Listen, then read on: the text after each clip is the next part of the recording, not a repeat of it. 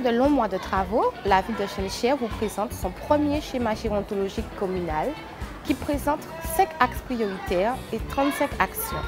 Parmi nos axes, un axe sur l'accès aux soins et la prévention de la santé.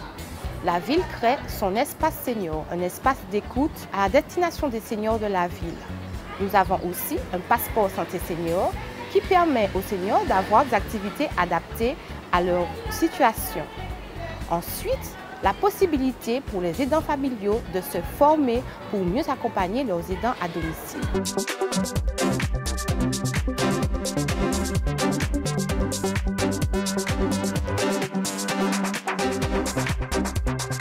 Nous, sur une formation qui vise euh, surtout à soutenir les aidants eux-mêmes.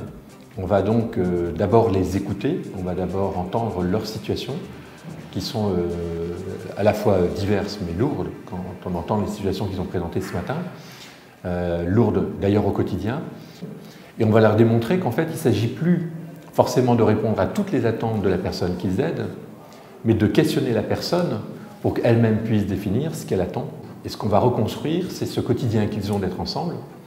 Et quand bien même, par exemple, ils vont laisser faire, si elle le peut, la personne faire sa toilette et que ça va prendre une demi-heure, alors que si on l'avait fait pour elle, ça aurait pris dix minutes, eh bien pendant la demi-heure où ils vont faire la toilette, ils vont pouvoir parler, échanger sur le registre des émotions, et donc ils vont pouvoir investir ce que nous on appelle une autre des dimensions qui qualifie l'autonomie des personnes. Donc on va les revaloriser, et c'est le but notamment de cette session. Évidemment, beaucoup pourraient se demander pourquoi euh, des formations ou des séminaires d'information pour les aidants familiaux. Tout simplement parce que ces personnes euh, portent une aide, mais le plus souvent, ils ne sont pas préparés pour cette aide. Et usés, fatigués, ils deviennent quelquefois maltraitants involontairement. Donc nous, si on peut effectivement les aider à faire que cette aide soit pérenne, qu'elle dure, il faut effectivement préparer cette personne au long cours. Donc on fait plutôt, notre intervention est axée sur la prévention. Prévenir la maltraitance, mais aider ces personnes à gérer effectivement tout leur quotidien. Un deuxième axe va concerner le maintien à domicile avec une action sur la réhabilitation de l'habitat. Nous avons également un service d'aide ménagère communale à votre service.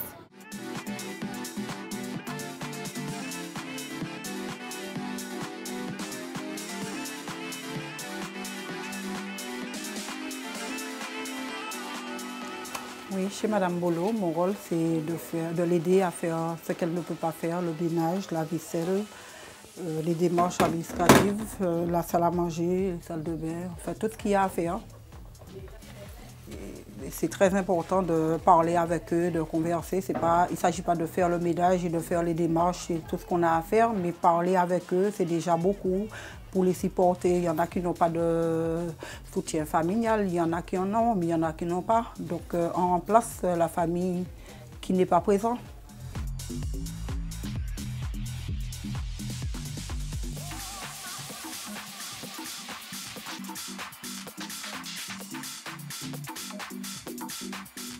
Avons euh, mis en place un certain nombre de dispositifs.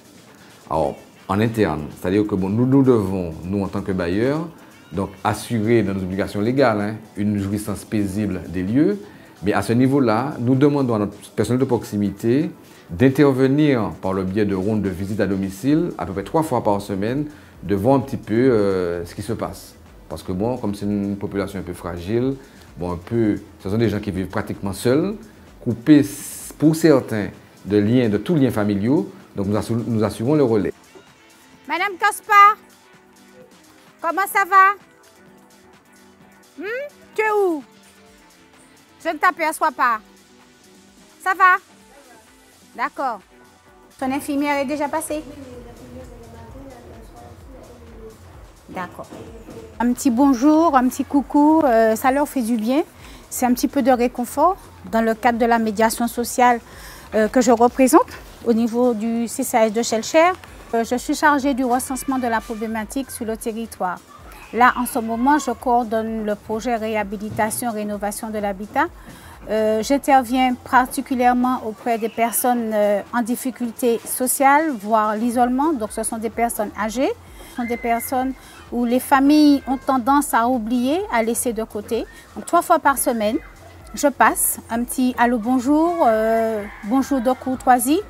J'essaie de faire en sorte de maintenir le lien social entre les familles et les institutions, à savoir la Société Anames et le CCS de Shellshare. Nous avons aussi un partenariat très fort et très étroit avec le CCS de la ville. Et notamment euh, en ce moment, dans le cadre en fait, de la réhabilitation euh, de ces logements-là, puisqu'il faut savoir que nous avons commencé la réhabilitation de Batelière depuis 1999. Nous avons fait six tranches. Et nous sommes à la dernière, la sixième et dernière tranche, y compris donc dans cette dernière tranche, ces 20 logements-là.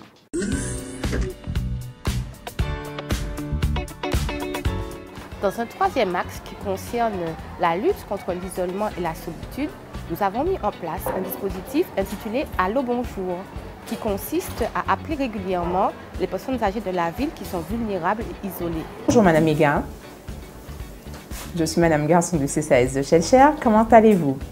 Je suis mal dormi parce que j'ai moins de café ah, mal ou moins café moins mal. Moi, pour sommeil, exactement mes amis passé. Hein? Et puis moi levé, il était exactement 4 heures.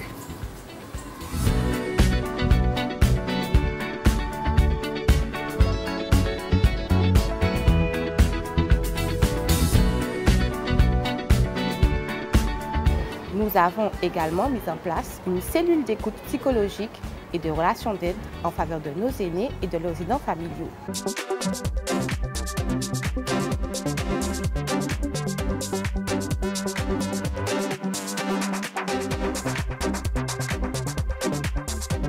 Il a été mis en place une cellule d'écoute et de relations d'aide euh, pour euh, aider euh, les personnes âgées ainsi que les aidants naturels et les aidants professionnels. Cette cellule porte ses fruits parce que nous avons beaucoup, nous voyons beaucoup, beaucoup de personnes, tant au niveau des aidants que les personnes âgées. Donc les personnes âgées se déplacent, viennent à la cellule d'écoute, à la maison de la cohésion sociale, et nous allons aussi chez la personne âgée, parce qu'il y a des personnes âgées qui ne peuvent pas se déplacer. Donc nous sommes amenés à aller vers eux. Donc euh, nous sommes là aussi pour euh, rentrer en communication avec la personne âgée, parce que ce qui se passe, c'est que les familles sont un peu éclatées. Donc euh, la personne âgée, au fil du temps, va se, va se retrouver seule et elle est isolée socialement, donc elle est isolée tant au niveau de sa famille aussi. Et, et c'est vrai que c'est triste. Et je pense que c'est un travail important important à faire parce que nous restons euh, en vie jusqu'au bout et des humains et c'est important d'être là.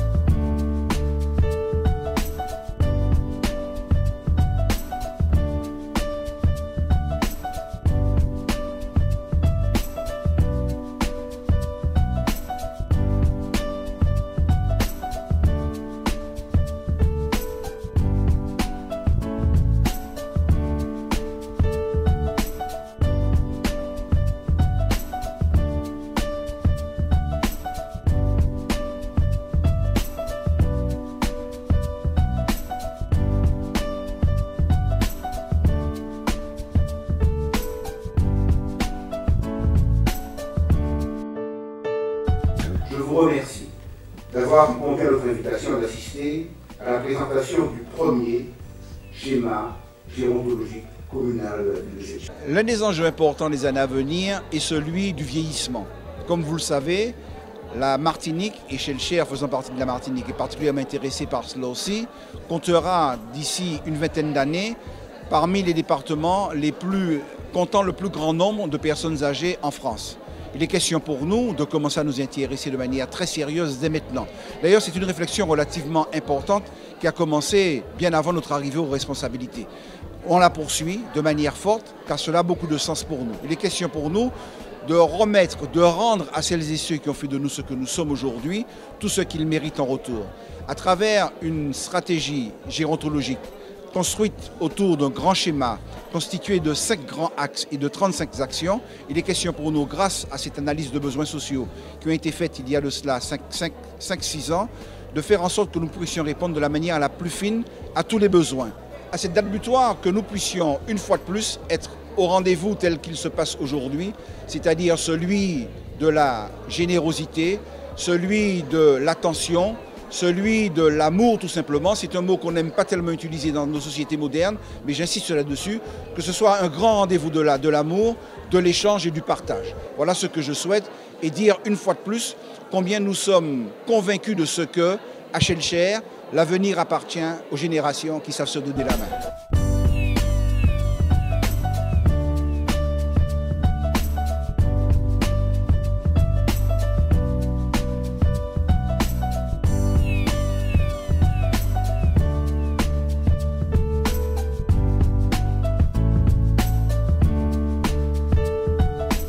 J'espère que le partenariat sera dynamique pour que la réussite du projet de Shellshare euh, vienne corroborer euh, la réussite du projet départemental. Je crois qu'on est tous liés par, par un, projet commun. C'est-à-dire c'est vraiment, euh, comme on dit chez nous, main dans la main. Quoi. Je veux dire, c'est, et on souhaite que ce projet-là réussisse et ça va nous permettre aussi d'atteindre nos objectifs parce que les objectifs de Shellshare sont euh, intégré, partagé par le, Conseil général. Vraiment s'occuper de l'ensemble de la problématique, la problématique d'accès aux soins, la problématique du logement, la problématique du droit euh, au loisir, euh, de la démocratie sanitaire finalement et de la participation de ces personnes à l'ensemble de la vie communale et de la vie de la région Martinique. Donc ça c'est une chose importante. Et ensuite, il faut avoir une démarche adapté à chaque territoire. La mise en place d'un schéma, c'est précisément répondre à ça. C'est poser le problème, définir des axes et définir au-delà des axes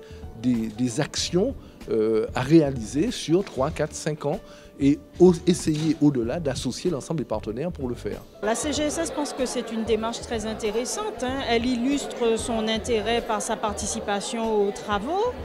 Euh, travaux en termes de conception du schéma, de rédaction du schéma, mais aussi de, mise en œuvre des actions. Et c'est là vraiment euh, tout l'intérêt, euh, toute la phase active de réalisation des travaux. Ben, nos souhaits, ce serait que ce schéma, on puisse en tirer un bilan positif, hein, de manière à ce qu'il soit moteur peut-être pour d'autres municipalités qui servent d'exemple euh, en termes de prise en charge des publics fragilisés, notamment des personnes âgées, et que l'on puisse, euh, au travers de ce schéma, avoir l'occasion de, repartir ou de rebondir euh, sur cette expérimentation avec d'autres institutionnels euh, intéressés par cette question. Nous avons donc été interpellés par la ville de Schulcher qui euh, souhaitait entamer une réflexion proactive sur son schéma gérontologique.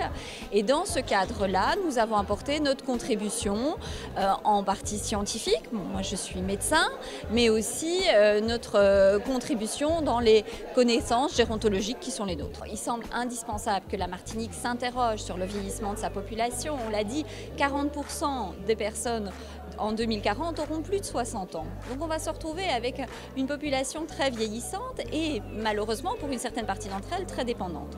L'ensemble du territoire doit donc s'interroger, mettre en place ce type de démarche euh, avec une coordination de tous les acteurs, agence régionale de santé, conseil général ou bien assemblée réunifiée et tous les acteurs du champ sanitaire et gérontologique, je pense aux services d'aide à la personne, les SIAL, les maisons de retraite, pour euh, permettre à la population âgée d'avoir un parcours de vie le plus harmonieux jusqu'au bout.